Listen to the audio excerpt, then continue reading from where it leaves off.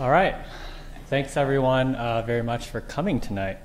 Um, so this is the Research Opportunities Panel as part of the Undergrad Computer Science and Data Science Research Fair that's uh, being organized and will be held on Friday, November 11th at the Barnard Diana Center in the event oval. Uh, the fair basically is meant to showcase all of the uh, incredible undergrad research that's being conducted uh, at the intersection of computer science and data science um, uh, at Columbia, right, by all of the amazing undergrads that we have. Um, so, a reminder that the application deadline uh, to present at the fair has been extended to next Monday, October 31st. So if you have uh, yourself participated in undergrad research in the past, or if you have friends or you know folks that have, then definitely encourage them to um, apply. And uh, you know, I think it's it's a great way of showcasing the stuff that we've we've all done on, on campus. Um, to learn more about the fair and to register and apply, uh, you know, just feel free to scan the uh, QR code on the screen. Uh, so with that, I'm really excited to introduce our panelists today. Uh, we have Martha Kim and Henry Yuen, who are uh, professors uh, in computer science as part of the engineering school, as well as Professor Matthew Connelly, who is a faculty in the history department at Columbia. Um, we also have two student moderators, Angel Liang, who is an undergraduate at Barnard, as well as Samuel Hutchinson, who is an undergrad in Columbia College. So with that, um, let's give everyone a round of applause and we'll get started. All right, so um, probably a good first question for a panel um, would be to ask you all to introduce yourselves uh, and your work, um, primarily focusing on um, your research and how it connects with data science. You, anyone can go first, sort of freestyle. Okay, I'll jump right in. Hey everyone, my name is Martha Kim. Um, as Eugene said, I'm a professor in computer science. Um, my research is in computer architecture, which for those who don't know is essentially the boundary between hardware and software. And so um, we look at new technologies and new opportunities and challenges kind of at the very lowest levels of software and um, where that meets the chip itself and how to future. Um, hi everyone, uh, I'm Henry Yuen. I'm an assistant professor at, at computer science, um, and my uh, research focuses on quantum computing. Um, I work on the theoretical aspects of, um, of this field, um, and you know, in, in, a sentence, what is quantum computing? It's uh, uh, supposedly uh, it's supposed to be a new type of uh, computing paradigm where you use the laws of quantum physics to, to solve problems, computational problems, much faster than um, what normal computers or classical computers are capable of doing. and um, some of the big questions in the area are for what sorts of problems you know, can we actually get an advantage using these new types of computing machines? Um, other questions are like, uh, you know, do they, um, uh, so we think quantum computers can be used to uh, break a lot of encryption schemes, for example, which is bad news. So one research question is, uh, can we design crypto systems that are secure against quantum computers? And that's one thing I'm thinking about. Okay, I'm uh, Matthew Connelly. I'm a professor in the history department. Um, I'm also the uh, principal investigator for History Lab. Uh, so History Lab is a group of social scientists and data scientists um, who are interested in developing new methods um, for doing historical research um, using computational methods. Um, so, you know, the thing I've been most interested in, uh, this is going back now eight years, is uh, using the millions of documents that have been declassified uh, that were once secret or even top secret, and using machine learning methods uh, to try to discover uh, patterns and anomalies in what the government didn't want us to know. So, very happy to talk to you about that this evening. Excellent. Thank you all so much. Um, so, um, next question, sort of jumping off of your research, um, how would you um, advise undergraduate students to start getting involved with research at Columbia, um, primarily in, in, computer and data science or sort of interdisciplinarily related fields? I'll, I'll throw something out and then you guys can jump in. Um, I, you know, I, I that, that, the scope of you know research in comp sci and data science at Columbia is such a broad um, it's a really broad scope and there's a lot of variation within that area. So I think, you know, the first advice I would offer someone is to kind of follow your nose in terms of topics that topics or particular courses that you've enjoyed, um, and use that as kind of the, the the thread that you start to tug on um, to kind of get some traction.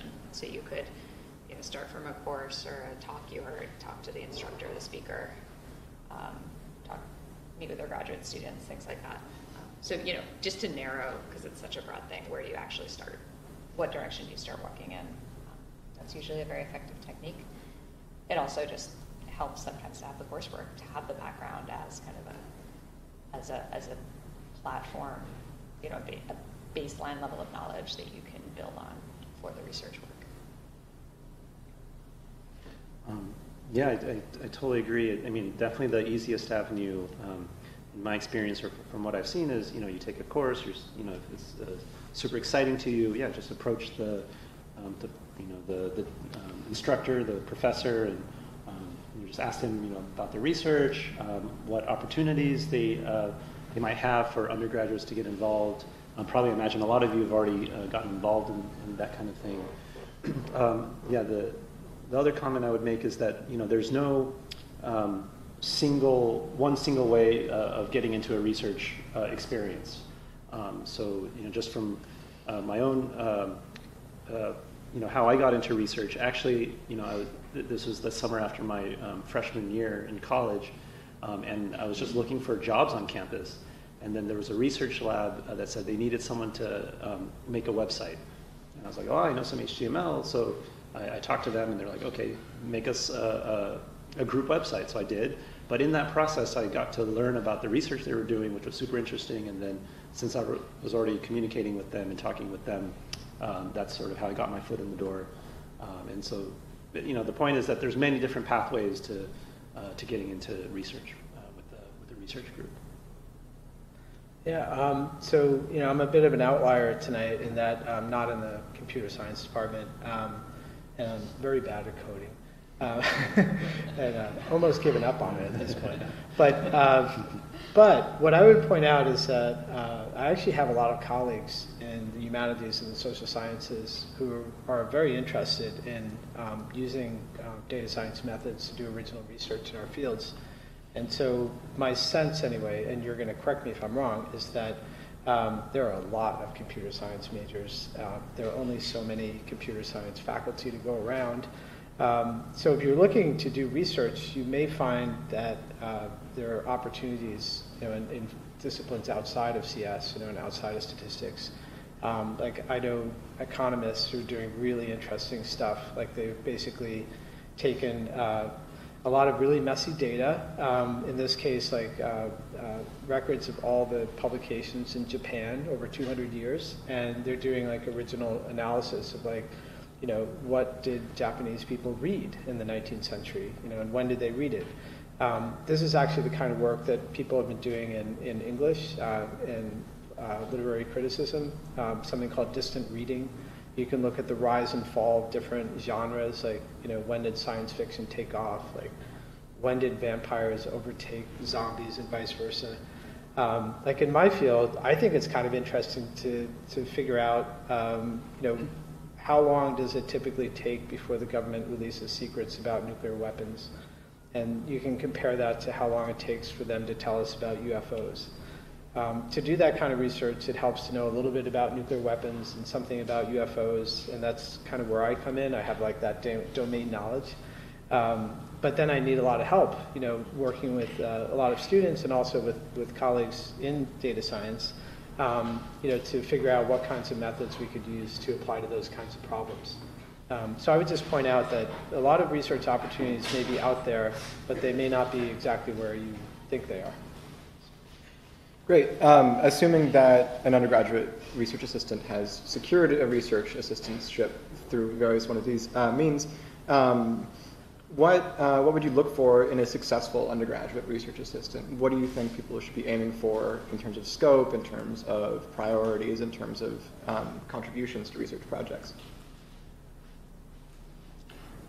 I'm guessing you're going to get three totally different answers. Yeah. Like, I, at least personally, I, my approach to this is very individual. Um, you know, I, for undergraduate research projects, I'm usually looking for something that's low stakes uh, because these are novice researchers who have not yet, you know, just starting to test the waters and gain experience. And so, you know, the context they're coming into is, you know, I have a research lab with funded grants and projects that are ongoing and certain things that we really do intend to or must critically deliver. And so I'm looking for pieces of it, pieces of the work that you know, the student can contribute to that align well with their existing skills, that sort of interest them, um, and then that are not like mission critical so that it doesn't get intense for them right out of the gate. Um, so that's sort of how I align student with opportunity within the lab. And then, um, sorry, what was, I'm blanked. Oh, um, yeah, it's, um, traits you would look for in a Oh, yes, successful thank you. undergraduate research. Goodness, just total, totally gone. Um, the ability to kind of learn on the go. Um, you know, just the nature of research is that you're doing things that have never been done before um, by design. That's its inherent quality. And so, you know, there's, there is no textbook, there is no, um, there is no tutorial. There are tutorials for parts of it, but by definition, you're kind of having to figure out as you go. So, you know, some element of grit and ability to self-study and puzzle through stuff that is just not going to make sense. I think is the essential quality for me. Um, so, um, sorry, what was the first part of the question? And I, I, I, should have broken it down. the end of the day. Um, sort of the, the, the, the big question is, um, what does a successful undergraduate um, research experience look like? What kind of qualities to look for in a successful undergraduate researcher? Yeah. Um, and sort of what kind of scope should people expect going into an undergraduate research job? Yeah, so, um, um, you know, so I, like I said, I work on theoretical research. So what I do is, you know, I'm in the computer science department, but I rarely do any coding. Um, it's all math. And so for these kind of theoretical projects, it's a little tougher generally for, um, for people to get into because in order to really get started on a, a project, uh, you know, to make some sort of contribution, you need to have some uh, minimum background in, you know, say linear algebra, probability theory, theoretical computer science. Um, so typically for the research projects uh, that um, I run with undergrads, you know, it's usually third or fourth year. But even if you know you don't have the background, um, the the starting point is to uh, to get someone uh, reading papers, um, and uh, it's just learning the background material. Um, and um, when I work with uh, undergraduate students, we, you know, we will sort of say, um, let's just meet every week, um, and uh, you know, maybe let's read this paper or read this chapter in the textbook, and just you know, tell me what you learned. And so it's more of in this interactive uh, process, and um, sometimes the result of this research experience is not so much original research, but more kind of like a directed learning um, experience, which is totally fine. You know, that's great. It's I think for the students very helpful, and um, depending on how much the time the student has, um, you know, maybe they're working with me for a year or so. Um, in the you know after a semester of learning and reading, maybe they can start to think about some uh, you know toy research problems, um, and uh, and you know the theoretical problems are, are, are, challenging to solve, you know, even for professional researchers. Uh, and so, in some sense, I don't ex- necessarily expect, you know, a theorem to be proved. Or, but um, the important thing is just to really explore the area, and you know, we'll, we'll be learning uh, some papers together. Um, and if the, at the end, both myself and the, the student learn something, I consider that a success. Um, and you know, that's in, in, theory, that's really sometimes that's like the best you can hope for. and once in a while, if you prove a theorem, that's that's amazing, that's great. Um, but not you know not you know it's not required, you know not necessarily expected. Um, in terms of traits that are uh, you know that I like to look for, um, definitely yeah, um, you know ability to, to learn on the fly, to you know read through poorly written theory papers and try to parse you know what uh, what the heck people are trying to what they mean and um, persistence, uh, right? Like you know, like Martha was saying, you really have to sort of uh, wade through uncertainty and not knowing where things are going, and and you know, you have this optimism that things will eventually come together in terms of understanding. Um, and then finally, maybe a more general thing, which is just um, it's it's very helpful to be in constant um, communication. Um, in, in the sense, it's nice to I, I, like it if um, you know every week I you know meet with a student, and even if it's like a short meeting, just some update like, hey, I, I, tried reading through this, and I, you know, it's okay to say I totally did not understand this this section of the paper, but I tried reading it, and this is what I thought, and um, even something like that is, is really useful and helpful. Um, it's much better than you know, starting off the semester like, okay, read this paper, and then you know you struggle through it, and you know you, you don't reach out, and, um, and you know you come back two months later and say, I still don't understand the paper. Um, that's you know not as effective learning for either the faculty member and the student. So I, you know, I think regular communication, even short, short amounts, is, is um, helpful. Yeah, um, so when Sam asked us, he asked specifically about like once you've gotten your research assistantship, right? um, but of course, you know, uh, it can be hard like just to walk in right to office hours and end up with a with an RA RA ship. So um, I've actually found over the years, and I've been doing this for longer, I think, than anyone here. The best RAs I've ever had have been the ones who are volunteers, you know, who just kind of show up and express some interest. Um, and, you know, I say, and it's a little bit like what you said, right? I mean, you wouldn't necessarily give somebody you don't know very well uh, something that is mission critical. Um, so, you know, sometimes I'll, I'll give somebody something that I think would be interesting to explore, but like I don't have the time to do it. And the people who are being funded by grants for my projects, I can't ask them to do it because they've got grant funded work to do and we have deadlines to meet. And so, you know, Sam has some experience of this. So a few weeks ago in our lab, in a history lab, we had a meeting and I said, okay, here are three ideas. These are things I've long thought would be really interesting. Um, and go at it, right? and so Sam, um, about half a dozen um, of his colleagues, you know, ended up dividing the work between them, and uh, and we'll see what comes of it, right? Um, but I'm hopeful.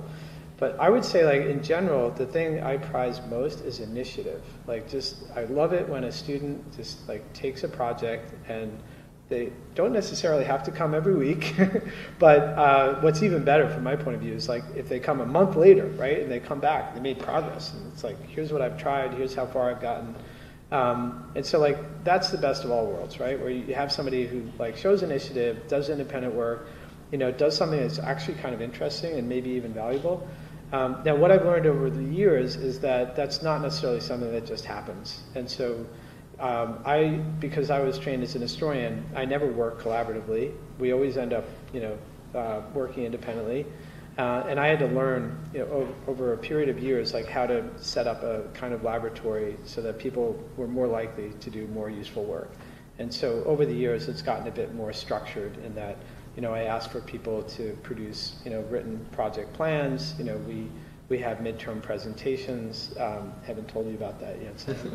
um, we, we, and anyway, so we, as we go, like they're not just like kind of, hey, everybody should check in.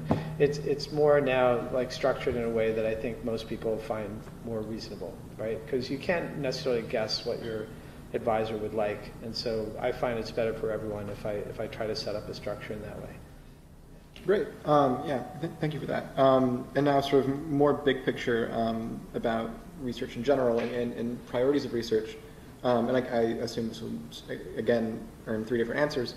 Um, how do you balance emphasizing like the practical applications of your work with trying to answer more abstract theoretical questions about the field, big picture things? Sure. I'll jump in again. Um, so, so as I, as I mentioned earlier, I work in computer systems, which tends to be more on the kind of practical side. How do we build these things? How do we design these things so they can operate at scale? Um, and so there's sort of the obvious practical elements, um, which typically in a research context show up as, as research prototypes. So we'll, if we have this idea, we'll sort of mock it up and try to put together a proof of concept to show that, that it is doable. Um, maybe not at full industrial scale out of our lab, but it's something that's big enough and interesting enough to be convincing to convince like Microsoft to go do it or whatever, whoever might be interested in adopting it.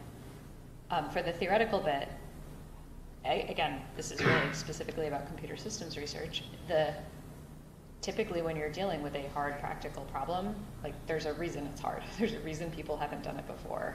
You know, if it were easy, it would have been done.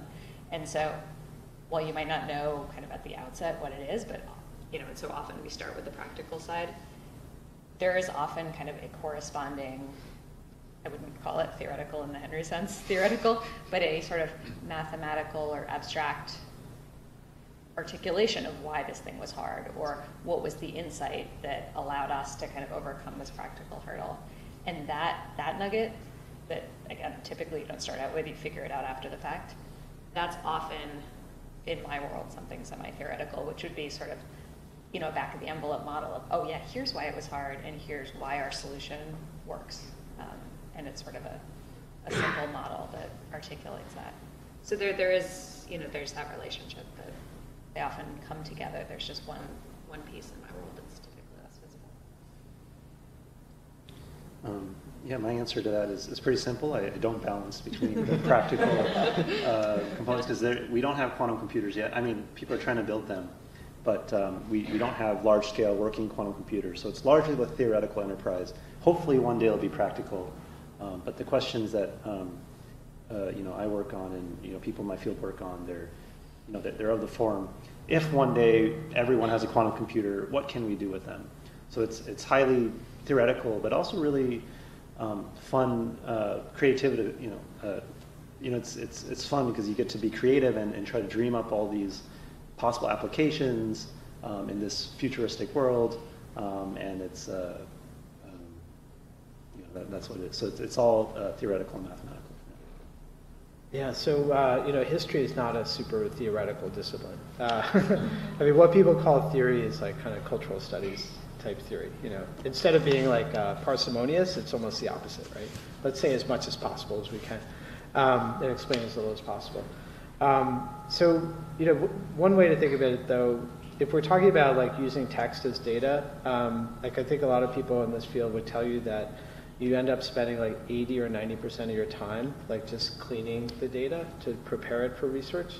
Um, and people will also say that's actually really good training. Um, and you know, a lot of the work that, that students in my, my group have done over the years has been exactly that. Has been you know like stuff like deduping and disambiguation and you know trying to improve OCR quality and, and things like that. And I have to tell you, like it's not fascinating in and of itself, um, but it's strictly nece- you know it's absolutely necessary. And so you know, when, when somebody like shows that they're capable of, of doing careful work, right, and they, they write clean, well documented code, you know, that other people can use and so on, um, sometimes we give them that essential work, right? Um, so the work we do now, though, um, after having spent so many years now um, with multiple corpora, like everything from like 11 million pages of documents that journalists have collected, a lot of it through the Freedom of Information Act requests, um, to you know this enormous but almost unusable database of CIA documents, like everything they've declassified since the 70s. Um, we have like you know multiple corpora. We can start asking really interesting questions. One thing that's interesting about it is, you know, nobody's really worked with this kind of data before. Like nobody's even, you know, until this point even begun, you know, to use um, NLP methods um, to do things like, for example, like one one of the student projects is let's compare, you know, what it is the State Department says publicly and what it is that they're saying in classified communications. Like that's a kind of interesting question, right? And until now, nobody was really able to um, to answer questions like that. At least that they could do qualitative research, right?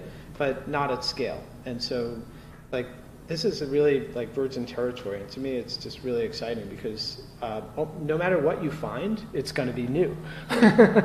so, like, let's say you find it's exactly the same thing. I would be amazed by that. I don't think that's what we're going to find, right? But, but it, if we did, that would be interesting in itself. And so, a lot of the questions we're answering are asking now are like that. Like, the, the, it, uh, because people haven't asked questions like that, they haven't had the data or the methods to do it.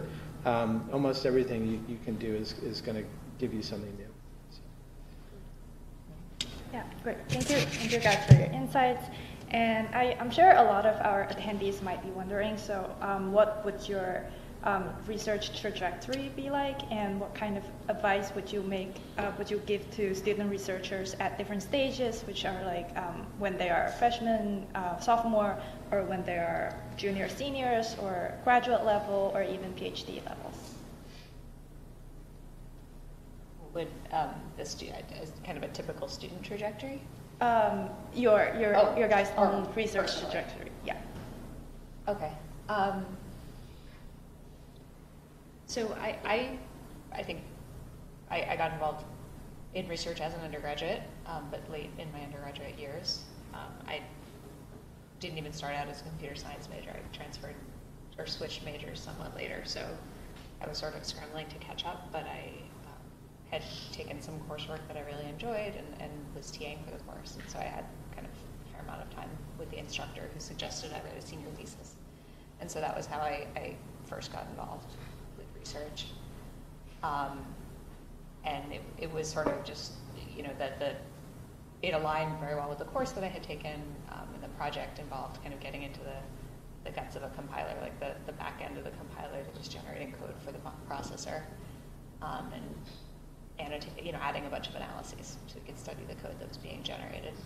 Um, and it just, it sort of just was really fascinating to me that like all this stuff was happening um, in the machine and, and, that I could kind of understand all the little pieces and, and tinker with it. Um, that was really satisfying. So, you know, that was sort of where I started. Um, and because it was late in my undergraduate career, I felt like, okay, you know, I'm graduating. Um, but I, I, didn't, I felt like there was a lot more that I wanted to, to study and get exposed to, and I enjoyed the research, so I applied for a PhD based on that. Um, and the trajectory basically continued. I continued to enjoy the research. And so, um, you know, as far as, so that, that's just for me personally, um, as far as kind of a, a, student, I, you know, I think students vary really widely, especially at a place like Columbia, in their interests and kind of where they're headed post-graduation. I think, you know, there are some students where the research experience is literally just like, I need a summer job. Um, and I want housing this summer, and this seems like a good way to do it, and that's totally fine. Um, there are other students who are kind of just know that they're dead set on getting a PhD, and so they are very, you know, very singularly focused on research. Um, and then there are others who kind of just want to check it out um, and see. And and so depending on the student's interests, I think you know I would shape the trajectory a little differently. Um, you know, for sure, for a student who wants to apply to a PhD program, you know, if that's your objective, PhD students are typically admitted to programs based on research record or potential. So potential really, because there's a lot more research to come, but if you've already done some research or published as an undergraduate, that's that's a good demonstration of potential. Um, so you know those students I would handle or you know kind of steer differently from a student who is checking it out it's happened that students say like, you know, thank you, goodbye. Um, or thank you, I'd like to go to work in this ML lab, or you know, all sorts of stuff, and that's totally fine too. Like you know, students are all on their own paths, and you know, I might be a big part of that or a small part. That's fine. Um, yeah. Uh, so in terms of um, my own research career, yeah. So I mentioned I sort of got my foot in the door, you know, summer after freshman year, was designing websites and but then that led me into uh, working on actual uh, research problems with this group, which was it was a computational physics group, so it was like writing um, simulation code to simulate materials and so on. Um, and then, um, you know, I was bouncing as an undergrad, I sort of bounced between different majors. Uh, but then at, at, one point, I took an, um, a CS computer science theory course uh, uh, in computer science. Um, and you know, I, I, guess I did well in the class, and, and then the professor mentioned, um, you know, he was uh, looking for um, someone to do basically theoretical computer science research over the summer. So I was like, oh, this is re- really cool. I want to learn more. And uh, it, you know, I worked in um, this research group for a few years, like um, yeah, over three years. Um, and I totally fell in love with theoretical computer science research. you know, so it was uh, just eye-opening to me um, that you you know you could explore all these really fantastic abstract ideas and and um, and uh, I didn't get any publications from it, um, but uh, in some sense I think it was in hindsight I think it was better that I wasn't so focused on um, you know producing a paper at the end of the summer or something because um, it really allowed me to just focus on learning and seeing the process of doing research and watching, you know, up close what it was like to see a professional researcher uh, doing their thing, right? And, and talking with graduate students, and, and that was um, uh, very illuminating and, and, super exciting. So uh, I didn't get a paper out of that, um, uh, but I, I, felt like I learned a ton about the process of doing research, and it, you know, it, it really told me like this is the thing I I wanted to do, and so that's why I applied to graduate programs and pursued a PhD Um, I would say that um, you know, for there's no such thing as a typical research trajectory. Um, you know, in throughout my graduate school career, and you know, uh, now that uh, or you know, meeting different researchers around the world, everyone has a different story of how they got started in research. And um, you know, some people started super early, like Martha was saying. You know, they're dead set. They know they want to pursue a PhD. Other folks, um, you know, they're just you know, they're not sure. They're trying different things. Uh, and maybe they learn very late that um, research is something that they really wanted to get into.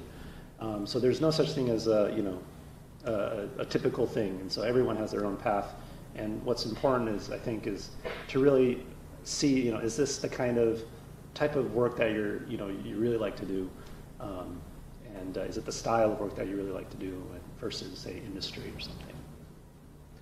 Yeah, I, have been, uh, and by the way, it seems almost unfair that I'm always the one that gets to think about it the longest. so maybe we could flip it, right? I get to get the low hanging fruit we can reverse order if you want. You know, but I had this whole time to think about it. It's like, did I do any original research as an undergrad? And I think the answer is basically no.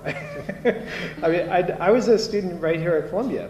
Um, and even in terms, so I was a history major. Um, but I spent a year in, uh, at Cambridge. I did like a, you know, an exchange. Well, there's no exchange because they don't come here, right? but Columbia students go to Oxford and Cambridge, or I did anyway. Um, and it was only then that uh, I, you know, as, as they do, like at both Oxford and Cambridge, you have this like weekly tutorial system where you, you sit down and you, in the old days, I don't know if they still do this, but you literally like read the paper you've written to the professor. and um, and that's what you do. Like every week, you write an original. Or this is the original part. You have to do a literature review, right? So you're not like yourself, like going out and doing archival research and interviews or looking at artifacts. Instead, you're reading the work of scholars, and then you're analyzing their arguments, and then you're trying to make an original argument of your own. Um, so it was only then that I, I think because I was like sitting down, and I was sitting across from these people, various professors, and all their quirkiness, and I finally realized, like, wow, like these are human beings and they seem to be making a living doing this and this is kind of fun. I can just read history all week and then say what I think about it. And it was only then that it occurred to me because I didn't know anybody who ever got a PhD. Nobody in my family, I think, ever even thought about doing that. It was only then that it occurred to me, like, wow, I could be an academic, perhaps, you know. Until then, I was sure I was going to like go to law school. Um, that would have been terrible. So I see that more and more clearly over the years. Um, so uh, when I was an undergrad at Columbia, I you know had to get work study jobs. So my first work study job was uh, like figuring out whether all the books were shelved in the right order at the library. And after about an hour, I was like, screw this, this is terrible. I would just like take a book off the shelf and it's like, well, this is kind of interesting, you know. So that's why all the books are out of order. so, so I found a better job as a research assistant for a history professor but the only thing I was seemingly capable of doing, you know, was to like file his papers back in the day, like when you would file your recommendation letters. So I would end up like reading some of those recommendation letters, which is kind of interesting. Um, but it wasn't like his research, really. Um, the, the last thing I ever did for him, when I was finally capable of what he thought was, was real work, was um, I typed up his bibliographies. And because he was a Hungarian professor, there were like eight or 12 different languages, and I didn't know any of them. It was like Hungarian, Romanian, Bulgarian, etc. And it was like, really, another consonant? Um, so, so like my research experience at Columbia was extremely limited. Um, and you know that's not unusual though among history undergrads. It's only when you get to be uh, typically a senior, you know, when you uh, either take a research seminar or you more often, even better, if you, um, if you do a senior thesis. That's when you're uh, taught how to do archival research and how to do interviews and, and so on, uh, which is great. I just never did, because it was so expensive, I graduated early. I never did a senior thesis. I was like, I'll graduate a semester early and I'm going to save a lot of money $18,000. Seemed like a lot of money at the time, you know. so um, anyway, so uh, what I would say though is that now there, it's not just those writing a senior thesis. There's all kinds of opportunities to do undergraduate research, even in the history department. So like we actually give people money to like go do archival research. Like if you find out that you know, the research you want to do is one that requires travel, like there's money to go do, you know, to the archives where you need to, or to interview people. Um, and it can be a lot of fun. Like you might be amazed. Like as an undergraduate, you can interview like former policymakers, like very senior people, because even these people, especially them, they think about their place in history. And even you as an undergraduate writing your undergraduate thesis, they're already thinking like, ah, finally I can tell my story. so uh, historical research is fascinating. And the, so the last thing I'd say about it is if you're not sure, you know, whether you'd ever want to do this kind of work, um, if you've ever gone into an antique shop and you poke around and you look at uh, old things and you find that interesting, that's a little bit like what historical research is like. Um, so, you know, now we do all kinds of stuff. Now we look at millions of things at the same time. And uh, for me, that's even more fun. But. Great. Thank Yeah. you guys for the insights. And as Professor Yuen just said, there's no atypical trajectory. And I'm sure a lot of um, undergraduate researchers might be thinking grad school, industry, startups, and even though you guys work in different fields, um, how do you think, um, what, what kind of suggestions um, would you give to undergrad students um, so that they can make the best decision for their own you know, career aspirations? Well, maybe I'll start. Yeah, sure. Let's hear So, so I would definitely uh, advise people not to go straight into graduate school. Um, in fact, you may find that, uh, well, you wouldn't know, but uh, I found, you know, being on different admissions committees, that uh, we're more likely to admit somebody um, who's had at least a little bit of experience, you know, outside in the world. Um, and, you know, of course, like if it's a, a history graduate program, uh, it would be especially helpful if you've done something that seems relevant. But this is more something I think people should do just for their own mental and emotional uh, well-being. Because the people, you know, who started out, you know, in nursery school, and then like all they ever knew was the inside of a classroom until they were like 28 or 50. Um, that's that's really not a great way to understand yourself.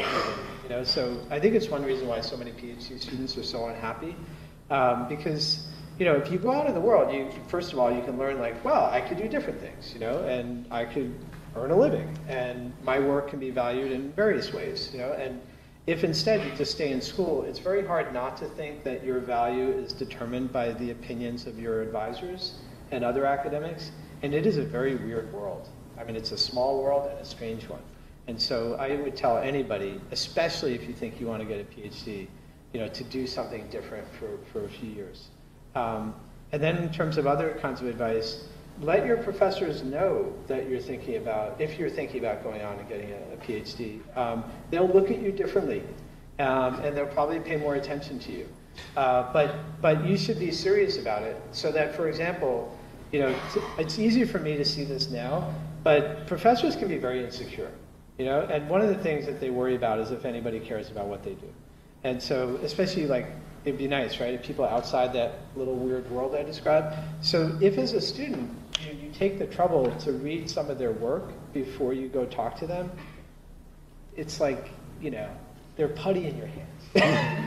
they're Totally so happy. You know, it's like, oh, you read that? That's great. You know, I'm exaggerating like a little bit.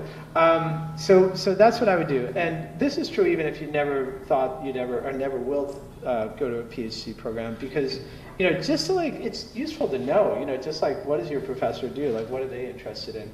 And, and another reason to do it is because you may find that the work they're doing is not that interesting.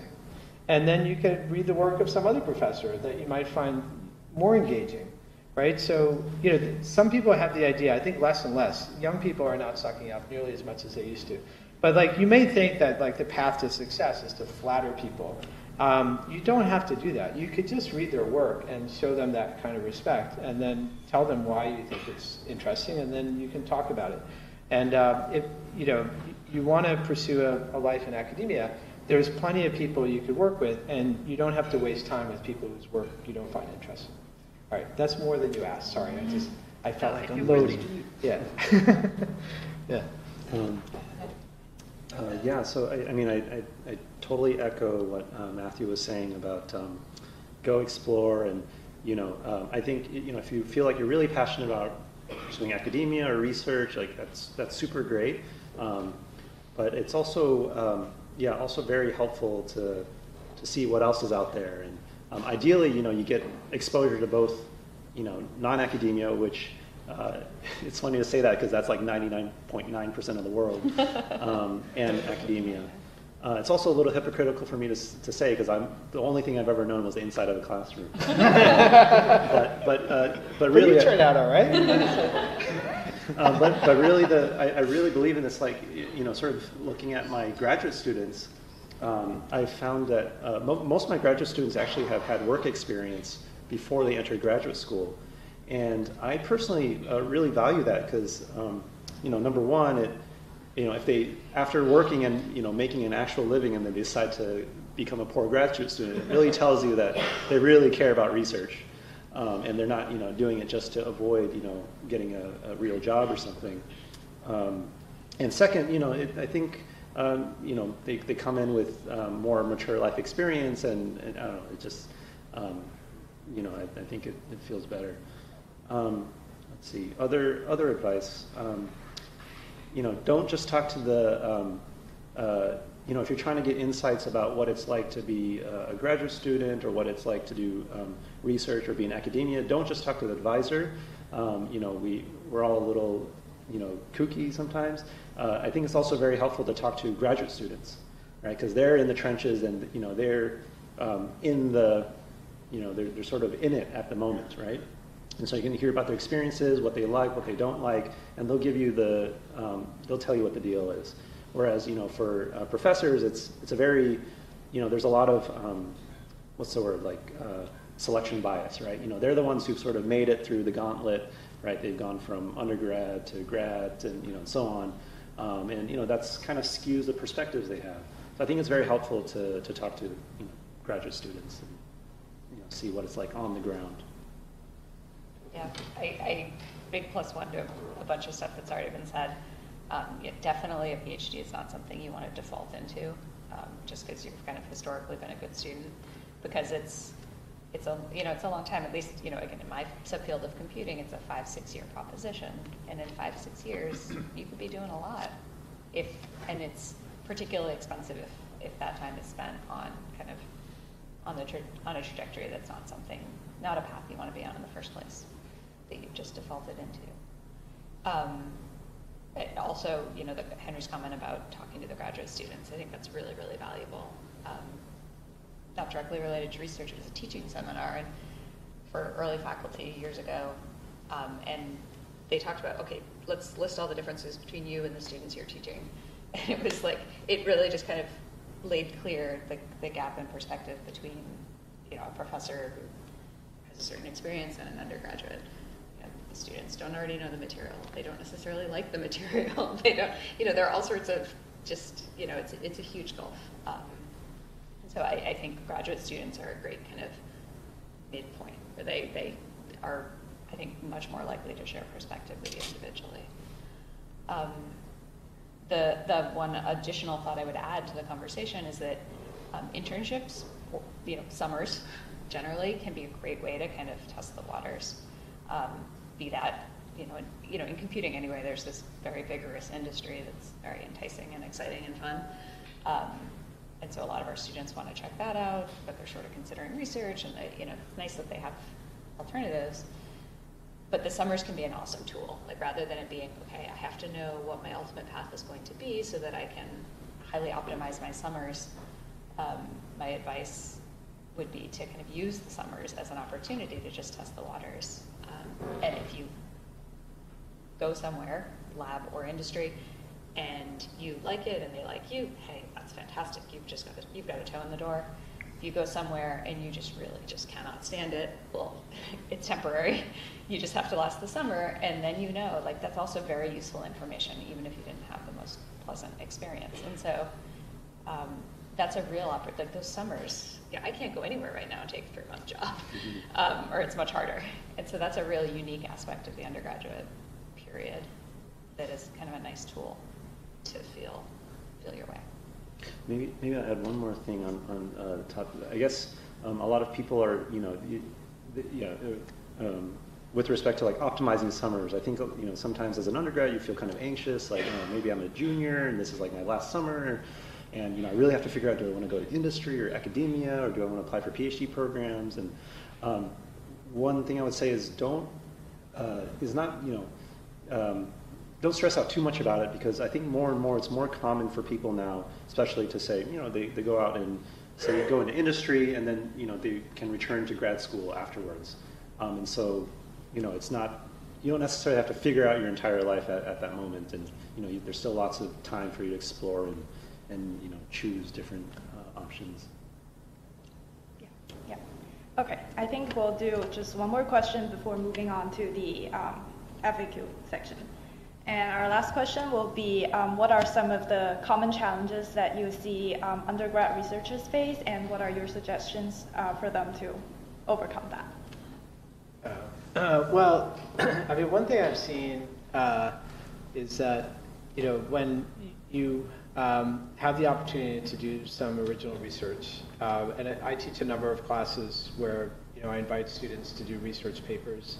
Um, if, if, for example, like you like the idea of, wow, I'm going to use like NLP and machine learning, and I'm going to study something about history, people often like come up with that idea, that research question, and then they go try to find data to answer that question. Um, and then sometimes, uh, you know, you could end up spending months, you know, just trying to, you know, find the data, collect the data, clean the data, to get to the point where you could even begin to do the research you plan to do. And so that's not a great way to get your feet wet, you know. so that's why you know it's. I mention this just because this is something I've seen many times, and uh, I try to talk people out of it. And sometimes I feel bad. I don't want to discourage them, but I just see them do this over and over again. And so you know, this is true too of like how historians identify research projects. They're they're like basically two ways to do it. Like you come up with a research question and then you go try to find the what you would call data, right, to answer that question. Or you could say like, wow, you know, um, you know, pick someone. so and so, you know, just died, right? I wonder if they left their private paper somewhere where I could start rifling through their correspondence and whatnot. And nobody else has done it before, so no matter what I find, it's going to be something new and maybe even publishable. So there's a kind of equivalent to that when we're talking about, you know, doing data science research for historical questions. Why not, you know, work in corpora that somebody is already prepared for you? You know, so uh, that's why I mentioned, like, for years now, like, we've been working to get to the point where we can do a lot of new and interesting research, whether it's about the State Department or the Pentagon or the CIA, or now we have agreements with the NATO archives, the World Bank, the UN, um, we can do all kinds of interesting research, and we've done a lot of the hard work already. And so, you know, why not use data that's already ready to use? Is what I would say.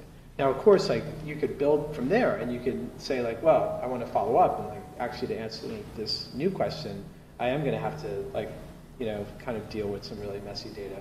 But I wouldn't start out that way. Like if you just want to kind of get your feet wet and, and see what you can do. Um, Yes, I guess from my perspective, you know, it's like, um, so I, I, mostly work on theoretical research, and I think one challenge that I often see with um, potential undergraduate advisees that I work with is, you know, they come in and, you know, these students are generally, you know, very, very uh, smart, very accomplished, very good grades, um, but they're, they're used to this thing where, you know, you go into class and there's well-defined problem sets, well-defined uh, exams, um, and, you know, you, you study for something, it's in a textbook, and um, but uh, research is, at least the type of research that I work in is, uh, or most research is, is definitely not like that. There's lots of unknowns. You're trying to explore, you know, you don't, some, oftentimes you don't even know what question you're looking for. And uh, one challenge is for uh, students to, uh, you know, to realize that and, and adjust to this different, uh, ex, you know, um, um, situation and, and it's not matching necessarily what their expectation is and that's often um, challenging, especially if they come in with the hopes that you know maybe they got a publication or a paper. It's not that easy, um, uh, and um, and so I, I think uh, one one challenge is you know uh, if you're getting into a research uh, experience, um, you know have an open mind and you know talk with the the faculty advisor mentor um, about your what your expectations are or you know what their expectations are uh, so you can sort of get a, a clearer sense of what um, is expected of your time working on, on this research project. Yeah. Um, I, I, I got time to think. I, so I, my answer is perfectionism. I think it's just a, a, a utter killer. Um, in part because, you know, like, like Henry was just saying, you know, that the problems are not, you're never going to get a really crisp problem statement and you're not going to get the answer key in two weeks. You're, you're writing the test and the answer key, you know? Um, and so I think you, like that, there is no well-defined perfect answer. And so if you get hung up on that, you are just um, spinning off in, in a direction that's just not productive. Uh, there's also a real practical issue, again, in systems research with, you know, there's always this ideal perfect system or perfect prototype. You can dream up all these things, but like, you're much better off just putting something together and get something running early and then iterate on it. Um, and, you know, it just as, as an engineering um, discipline to kind of deliver something small but iteratively is, is a million times better. But I think, you know, again, typical of like highly accomplished students, they, they are very capable and they think they, oh, it could be this, it could be that, it could be that. And now it's December. And, you know, now it's nothing. So I, I think that's a real, a real um, poison in terms of just joy and productivity. Yeah, perfectionism, I find that too. It's like often the case with, especially with your most capable students, like they, they realize that they're capable of doing, you know, amazing work and they want to do amazing work every time.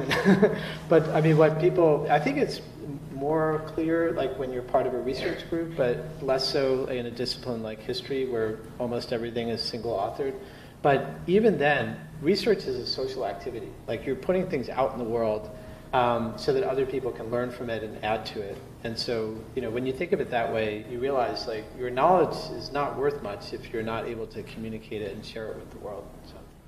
Absolutely. Great. Um, all right. Well, um, I think we So have don't ask for an extension. Yeah.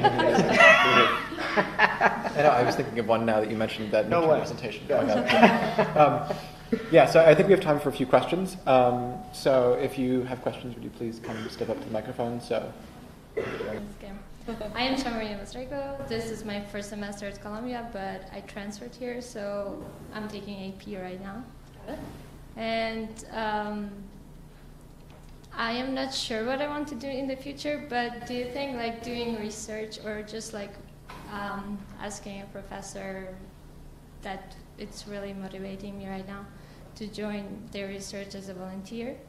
And do you think um, the research would also add up to your knowledge and like uh, work with like add knowledge to you that would help you in the industry world as well um, would help you, you the yeah. student. Yeah, yeah, yeah. Um, I think so. You just this is your first semester, so I would say you know you you definitely can approach faculty. There's there's nothing to stop you um, if if you're inclined to do that. Um, I think you know as a faculty member who's been approached, it's often helpful if the student if you don't if the student is a little more focused, like if they know, oh yeah, I've you know, in my case, if they've taken a course with me, they've really enjoyed it. Um, I, you know, there's some basis for the approach, as opposed to kind of, you know, again, if it, if it was sort of just a kind of a scattershot approach, then it, it feels sort of random and less focused. Um, so I would say yes, definitely, but I would I would be somewhat targeted or focused on particular areas or topics. Um, and um, as far as adding and the research kind of contributing to work in industry, I, I think it, it definitely can. Like even if you, you know, if a student conducts research and then they do not go on to do a PhD, um, you know, they've done independent work, they've had to demonstrate initiative, they've had to kind of learn on the job or, you know, get up to speed with new technologies that might not have been taught in the context of the class. And all of that stuff will apply um, in industry. You know, I was talking to a student the other day, and I worked at IBM as an undergrad, and they asked me during my interview, like, tell me about the biggest piece of code you've ever written. What did it do? How did you design it? What challenges did you have? They just like it was the conversation starter was like, and it, it was nice that I could talk about something that was like a little murkier and bigger, you know, the, a good course project would do it too, but like, you know, the richer, the meatier, the more interesting, um, that can help. So yeah, it can help even if you don't. Thank you. But you, you know, you have to choose how you spend your time, right? Like, Yeah. you know what you're giving up to do that, so that, that's, that's individual. And the next question would be, oh, should I ask him again? or- Oh, no, no, I thought you had a question for him, so I was just No, telling him the- she wanted to ask you a question. Just the volunteering part. It, you as a freshman, you started as a volunteer at the research. Did you just approach the professor or? Um, Oh, um, no, there was an ad. I think they were looking for a Ah. website developer, so I just responded to the ad. Um, Thank. Yeah, but uh, I mean, you should definitely don't feel shy about, uh, you know, asking. You know, do you have any research positions available? Um, you know, worst they say, oh, no, not at the moment, and then okay. Office hours, and also the CS department has, I think each semester, but sure, for sure every fall, a research fair where a bunch of PIs will set up tables and them or their graduate students will be there, and that's sort of a one-stop shop, Um, if the PI is organized enough to show up. The other question would be, uh, uh, how do you manage the time? And also, is, is it a good idea to join research in the fall, in the fall or spring semester or like summer when you're like more free? I, you know, I, I, think it's, they're all fine. Um, you know, during the semester, it, it kind of fights with your coursework, but you're here on campus anyway, so you're not giving up, giving up so much. Whereas like the summer, you're, it's sort of in place of an internship or something else you could be doing off campus. So um, they're both fine. Summers tend to go really quickly. Um, Thank you. my experience. I appreciate it. Thank you. Anyone else? Any questions? Yeah.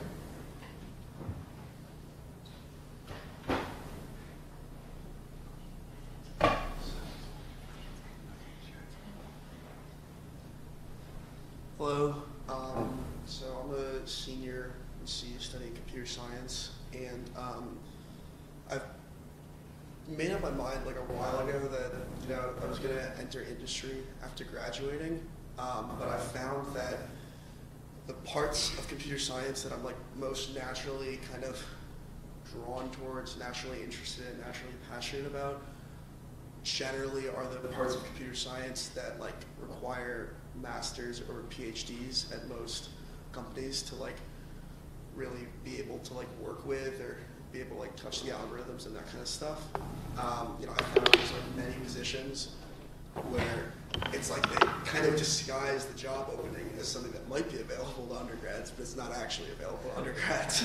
Um, so I guess that my question would be, um, what kind of areas of computer science do you think are like the most applicable in industry? Like specifically, what can you study, you know, work on here in computer science that would be relevant, um, you know, to like a, a tech or a finance company? Like, um, you know, and then like, how how do you, you know, begin that process of, you know, kind of like engaging with like, you know, the more challenging kind of higher order stuff?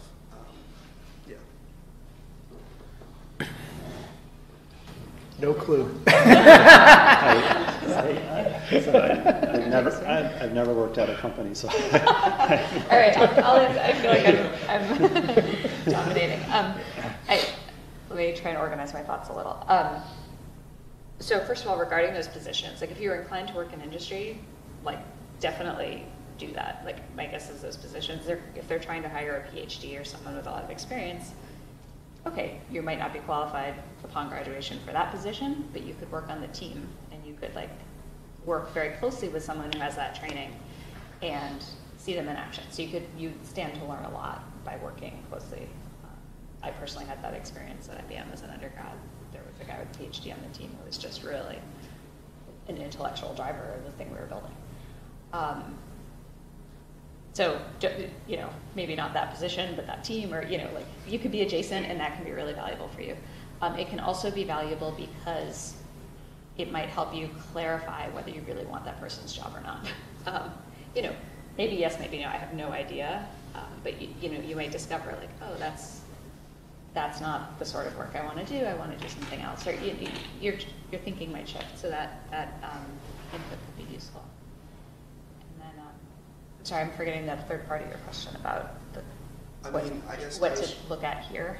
Yeah, I was like I was saying that like a lot of the kind of areas or spaces like in industry that I'm interested in, like artificial intelligence, algorithms, that kind of stuff. It's like it seems like it's hard to get into that right out of college. So I was I was asking what are like some areas, you know, some potential things to study or research on here that could provide like a good leaping Yeah. off point to get into that down the road.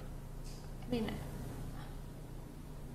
I, I'm sort of speculating here because I don't know exactly the hiring processes at all these different companies, but eh, you know, it seems like you know if you're interested in AI or ML, like I would make sure you have the background there, because it's it's sort of an awkward position to say, oh, I'm, I'm interested in working in these areas.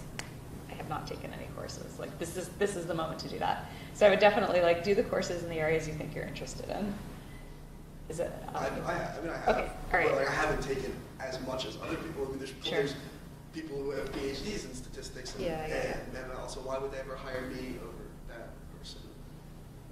Um, well, so the, you know, it's uh, different roles. So I, you know, they would they would hire um, someone with a PhD for maybe a more senior position or more of a kind of product architect type, you know, vision role versus kind of an execution role um, versus actually building things. Um, there, so there are different. It's, you know, the, the, there is room for kind of all levels of training. If they're looking for a fresh undergraduates, they're looking for people like you. Um, You could always start your own business. sorry? Yeah. Not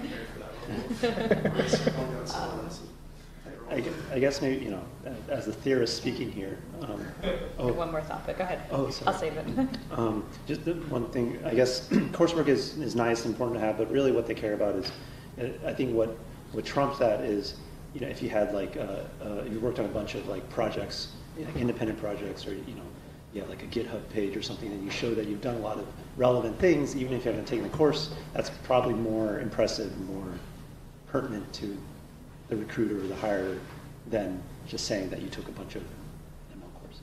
Okay.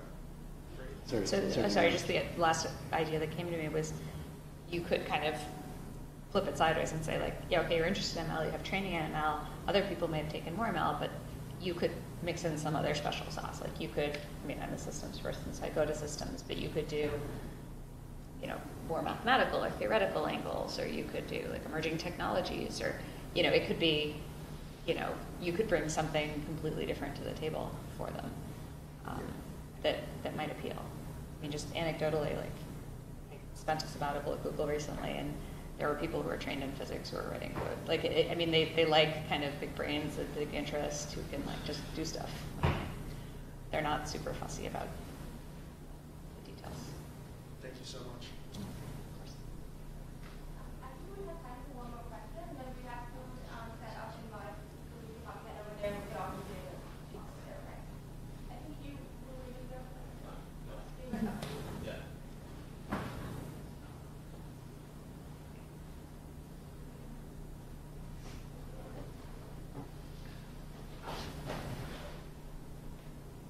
Um, hi, I'm Christine. Um, I'm a freshman in C studying computer science and linguistics.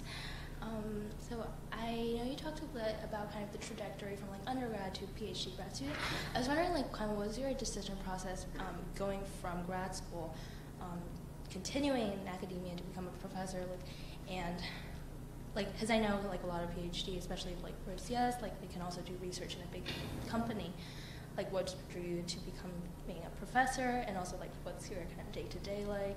Do you enjoy like teaching and like? Yeah, that, thanks. Want to take it? Uh, yeah, sure. Um, I have the best job in the world. I love what I do. Even if I won the Powerball and I had six hundred million dollars, I'd still come to work the next. Maybe not the next day.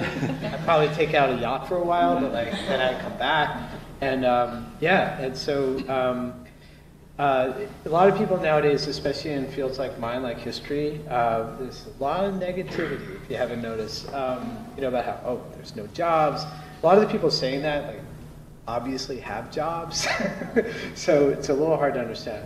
So I'm saying this just because, um, you know, I, I until you, uh, the questions have all been about like, how do I make money in data science? You know, and uh, there's so many other things you could do with data science. Like some of those things are like really important, you know, and necessary. And you know, we're living in a time, if you haven't noticed, like of crisis. and so, like, I'm so, you know, um, obviously the historians are not going to save the world. So um, I'm really hopeful that there are more like you, you know, who are interested in the idea of, um, you know, going into academia because we do important work. You know, we're, we're trying to create new knowledge about problems that are not easy to solve. Um, and so, you know, clearly, like somebody's got to pay the bills, right? And we wouldn't have buildings like this with the names that they have if there weren't people who are also, you know, um, starting companies and so on.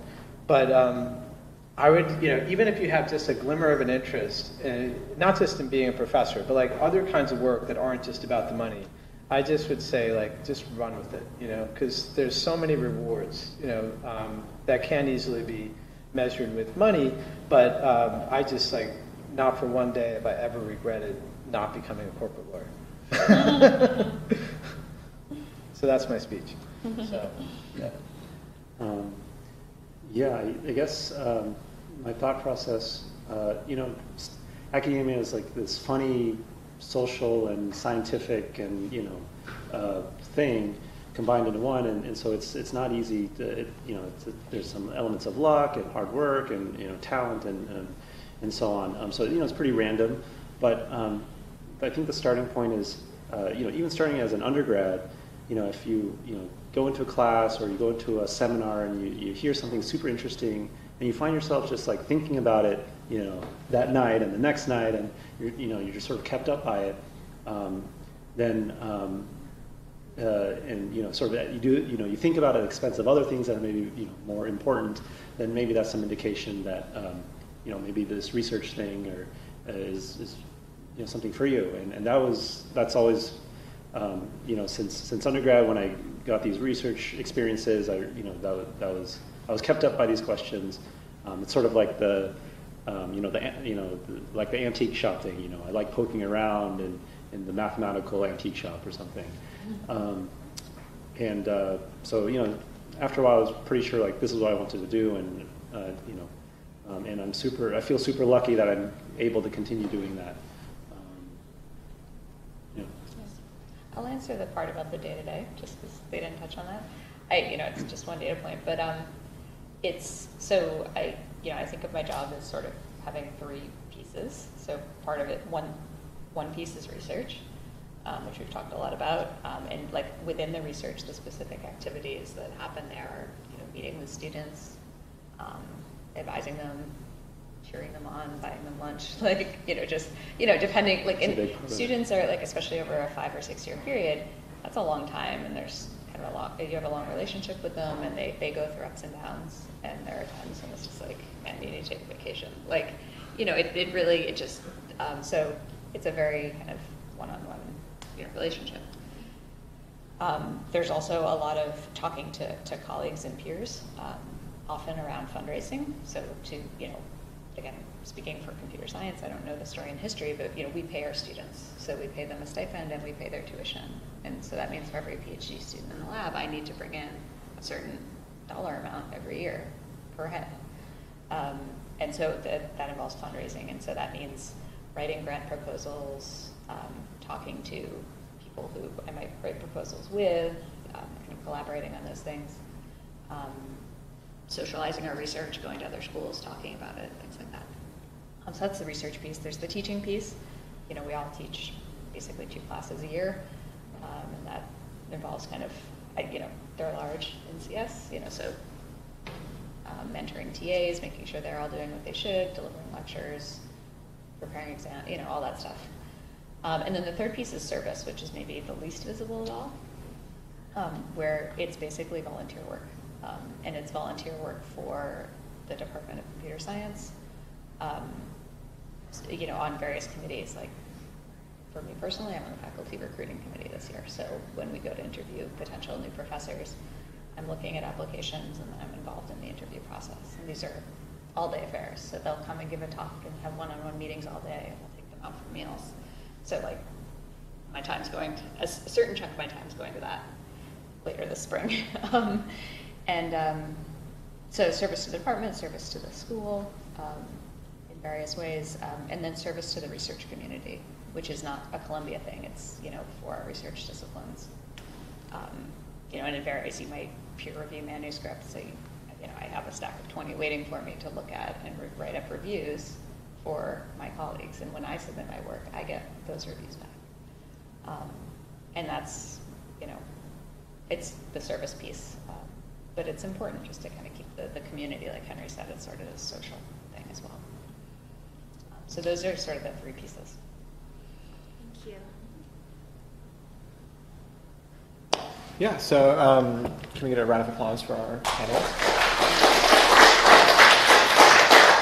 Um, yeah, and, and that's that for this part of the event. We'll have food next door.